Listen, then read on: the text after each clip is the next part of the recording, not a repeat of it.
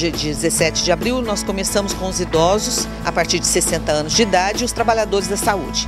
A partir da, do dia 24 de abril serão as crianças entre 6 meses e menores de 5 anos, gestantes e puérperas, aquelas mamães que tiveram filhos até 40 dias atrás. Depois, no dia 2 de maio, vai ser a vacinação das pessoas que têm comorbidades, doenças crônicas, como por exemplo diabetes, hipertensão.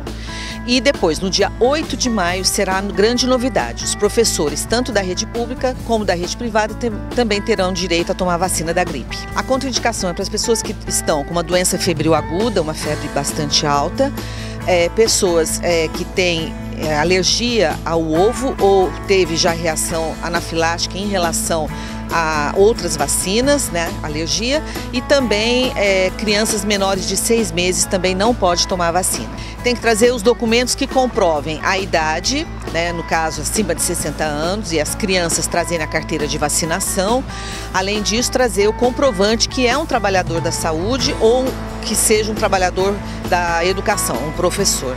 Todas as policlínicas estão atendendo de segunda a sexta-feira, das 9 às 16 horas do dia 17 de abril até 26 de maio. No dia 13 de maio, nós faremos o dia D, que é um sábado, e nós estaremos divulgando quais serão os postos volantes que nós teremos para atendimento dessa população.